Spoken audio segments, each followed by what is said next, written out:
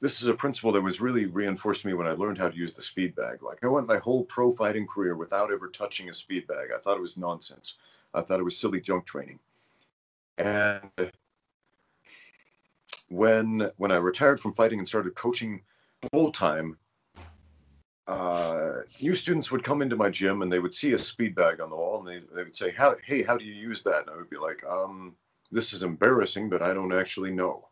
And so I decided, you know what? I'm going to learn the speed bag.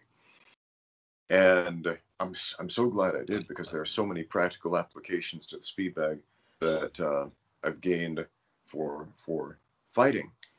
Um, but I went to, I went to YouTube to look up some videos and, and guys were like, okay, you hit the speed bag like this. No, you hit the speed bag like that. But the most important video, I don't even remember the dude's name, but he looks like Kurt Vonnegut, has like an afro and and um, it's a really old video. And he said, "Okay, I'm going to show you a, a basic speed bag pattern. Here's another one, but here's something even more important than the patterns, and that is practice this thing for 10 minutes every single day, and do that consistently for three or four months, and that will equate to 10 hours of actual practice." Now, if you sit down right here, right now, and hammer out 10 hours in a row on the speed bag, you will not be any better at hour 10 than you will be at hour 1. But if you spread that 10 hours out over three or four months and train consistently for 10 minutes a day, then you will look like a professional after three or four months.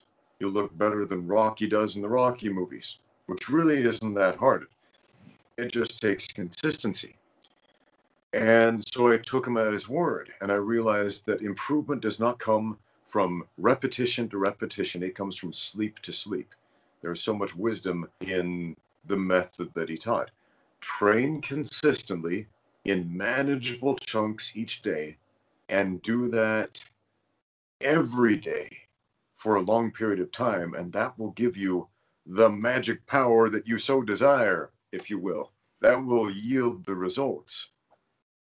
Yeah, yeah. It's crazy what could be done in um, when you're just consistent at something, you know?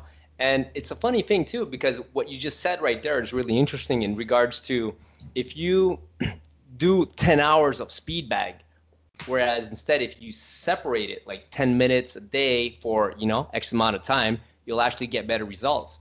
And I think that because I think that you have to be mindful when you do something. So when you do something, you have to do it. You have to make sure that you're doing it properly and then you have to like figure out what's the next step in your head so that you could you know continue to improve on that specific uh, skill that you're trying to develop like that or that specific drill